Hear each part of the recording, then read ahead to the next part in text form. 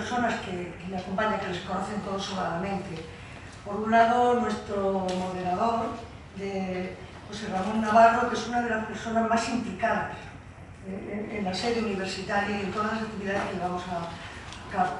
Yo creo que tienen cierta, salvando las distancias, porque no me dejara con su vida, similitud también con el personaje literario que compromiso social y cívico humanista que vamos a presentar hoy. No les voy a presentar al ponente que nos va a hablar de, Azorín, eh, nuestro querido Miguel Ángel Lozano, al que hacía tiempo que no veía y me ha dado bastante alegría reencontrarlo aquí en San Fernando, en la sede universitaria, en el marco del programa Senior y en el homenaje, pequeño homenaje que esta tarde vamos a hacer a la figura de. Él será el encargado de presentar la figura literaria, yo diría que más que literaria, de Antonio en su 150 aniversario. Yo simplemente una breve palabra, lo primero era que saludar, invitarles a que sigan participando con nosotros en todas las actividades que hacemos en la sede, que hacemos en el programa Senior y que hacemos eh, en aula de ciencia y tecnología. La verdad que creo que merece la pena. ¿Está bien? ¿Miguel Ángel está gusto? Me decía al entrar un compañero, qué bien, Natalia, vamos un poquito de humanismo ¿no? en, esta, en, esta, en esta sede, ¿no? un poquito. Nos viene muy bien, yo creo que nos viene muy bien hablar de figuras como Azorín, es un referente en la literatura, como todos ustedes saben, todos los que están aquí nos van a acompañar hoy uno de los más importantes hombres de la literatura, por supuesto, de la generación del 98, y no solo era un hombre brillante en el campo de la cultura y de la literatura, sino, como decía antes, profesor con Miguel Ángel, personas que estaban comprometidas con todo lo que ocurría, tanto lo público como lo político, como lo social, y que de alguna manera han marcado su vida, su trayectoria eh, literaria, personal, y política. Y claro, nos han marcado a todos porque han sido para todos ustedes. Y como les decía, que vuelvan a repetir otra de las actividades que en breve les presentaremos en el programa Gracias, José Ramón. Gracias, gracias Ana. Eh, buenas tardes y gracias por, por acompañarnos en este, en este, modesto homenaje a, a Zorín. Y gracias también a Miguel Ángel por, por haber aceptado esta la invitación que le hicimos y, haberlo sacado de su plácido, de su plácido retiro, jubilado. bueno, una pequeña, pequeña introducción. Eh, bueno, eh, en mi opinión, yo creo que una de las razones por las que leemos y, amamos la, literatura es, es, porque en muchas ocasiones es un espejo en el que nos vemos reflejados en algún momento en situaciones de nuestra vida. Yo por lo menos lo, veo así, lo vivo y, la vivo de, esa manera. Eh, precisamente la relación entre literatura y, vida está muy vinculada a mi memoria eh, literaria de, mis lecturas y por otro lado tiene también creo que ver con, eh, con Azorín. Yo soy un diletante de la literatura, yo soy ingeniero y por tanto no tengo mucho que ver con, este, este, tema en cuestiones académicas, ¿no?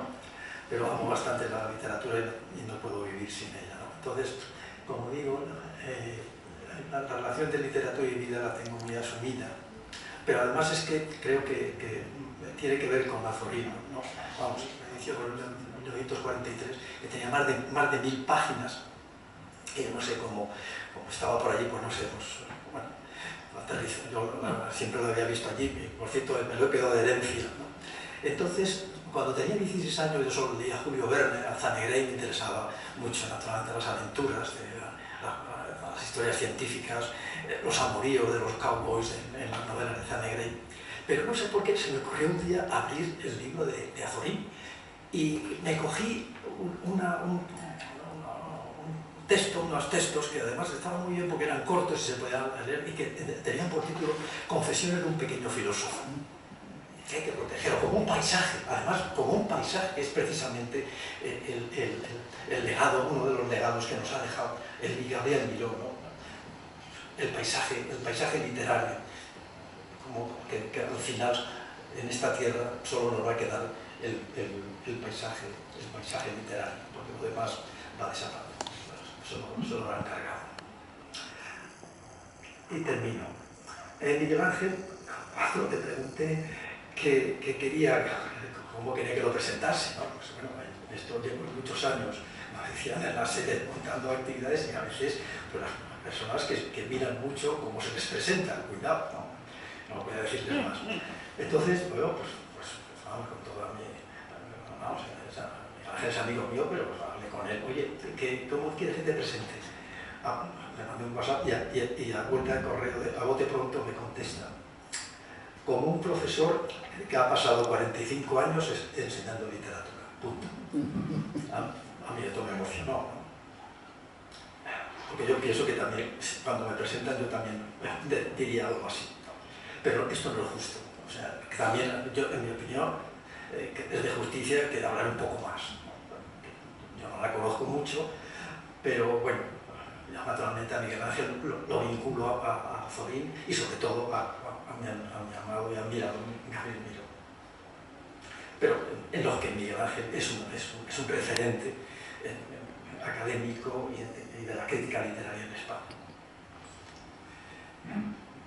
Él mismo ha contado que siempre le ha, interesado la época que va de los últimos años, del 19 a los años 30, del 20, las corrientes que aparecieron en esa época como el simbolismo. Precisamente le conocí, eh, a, Miguel Ángel yo le conocí en un curso, en, bueno, en un congreso que montamos eh, José Carlos Rovira y yo en el 93, porque entonces andábamos José Carlos y yo montando, eh, yo desde la urbanística y él desde la literatura americana,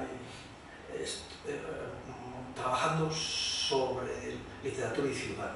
Entonces montamos un congreso y Miguel Ángel habló sobre la obra de Rodenbach, Brujas a muerte.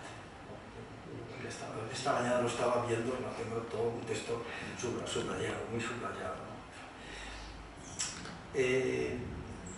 Pero también Miguel Ángel ha estudiado eh, a otros autores como Ramón Pérez de Ayala, bueno, y que, eh, que, trata en su tesis doctoral que le dieron el premio Fasterla, la Academia Española, que está mirando qué es eso y me parece pues, un premio, pues, en fin, bueno, eh, no precisamente para, para, andar por casa, en 1988.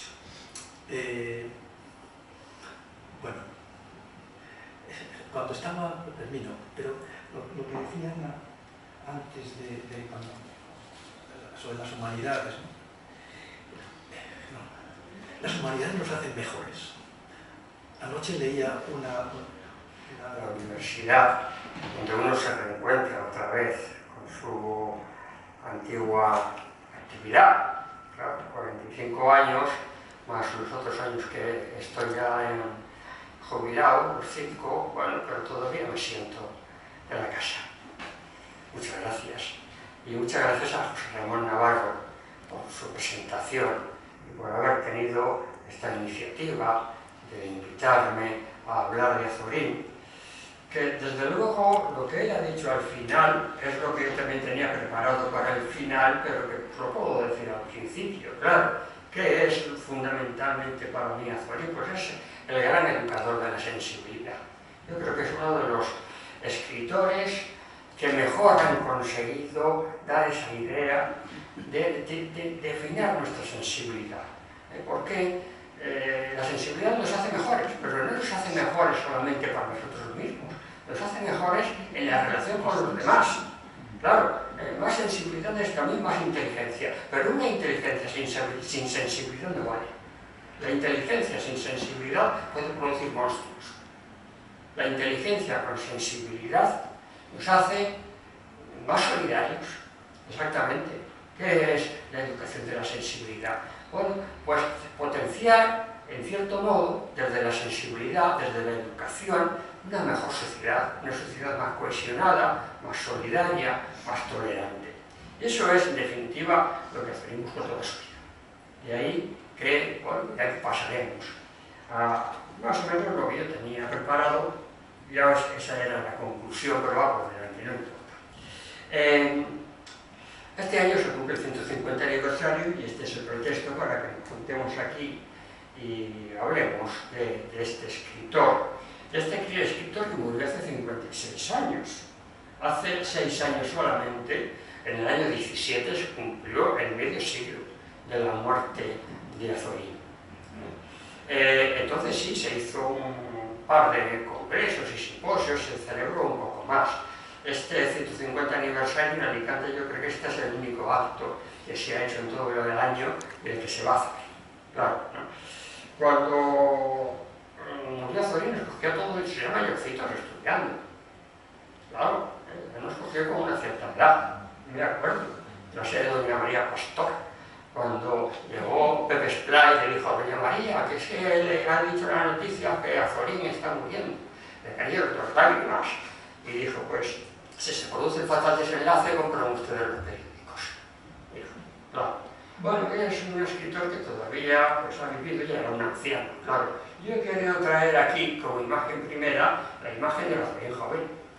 ¿Eh? ¿Por qué? Como Azorín vivió muchos años, vivió 93 años, casi 94, la mayor parte de las imágenes que tenemos de él, pues es la del anciano. Y claro, eh, la imagen del anciano de cara a la cultura de la imagen de hoy, pues no es lo mismo. Uno asocia eh, un anciano con una literatura un tanto envejecida, este es el Azorín de fin de siglo, este es un retrato de Azorín de Adelardo Carrillo, eh, eh, discípulo de Lorenzo Casanova. Eh, del año 98 porque se expuso en la exposición de Bellas Artes del Mediterráneo. De manera que tenía 25 años. Y es un tanto peculiar porque es una zona un tanto nizchiana. Como ustedes, un bigote de Nietzsche, ¿verdad? Es un, algo, algo parecido a algo que estaba de moda entonces. Nietzsche pues, era el, el escritor y el pensador eh, por excelencia en Europa del momento. Bueno, sí he estado con una alerta a Google, pues me viene todo lo que se va publicando sobre Azorín en la prensa normalmente son cosas banales, pero he visto que en este 150 aniversario sí que casi todos los días hay alguna noticia, algún ensayo, algún artículo en algún periódico del mundo, de España o de Hispanoamérica. O sea que lo van teniendo en cuenta. ¿no? Eh, por tanto, es un autor recordado. Es un autor recordado nacional internacionalmente siempre hay algún periodista, escritor crítico que, bueno, pues hace su par de dos o tres cuartillas para pues, tratar sobre, sobre el evento. Claro. Ya sabéis, casi todos tenemos alguna noticia, o casi todos tenemos formada una idea. Yo creo que es algo, eh, sobre todo entre quienes estamos aquí, cada uno tenemos una idea de Efraín, algunos más desarrollada, otros menos, porque, bueno, pues, quienes hemos estudiado el bachillerato a principios de los 60, pues era un bachillerato donde las humanidades eran muy importantes. Claro. Y se estudiaba literatura tanto en ciencias como en letras. Yo hice el bachillerato de ciencias y teníamos literatura en sexto y en preu, además de la literatura de cuarto, claro. ¿eh? O sea que eh, se salía de ahí con un cierto bagaje literario, con un conocimiento, con unos puntos de referencia. Y normalmente se salía de era así. Tanto es así que cuando en algún examen de literatura teníamos que, eh, bueno, eh, comentado desvelar quién é o autor, pois todo o xeo, que foi Gazolín, é o que máis se denota. Gazolín se é, é inconfundible. Ah, que é ese entonces? Pois eh, Azorín é un estilo, e está en un mundo. A esa hora de la mañana eran rarísimos los transeúntes. Las calles se enmarañan, tuercen, se tuercen en un laberinto inextricable. Son callejuelas estrechas, angostas, A uno y otro lado se extienden unas anchas losas. El centro de la calle lo constituye un pasito empedrado de pedados y agudos guijarros. Nada turba el silencio. De tarde en tarde pasa un transeúnte que hace un ruido sonoro con sus pasos. Bueno, aquello era un chaval pequeño, estudiante de cuarto,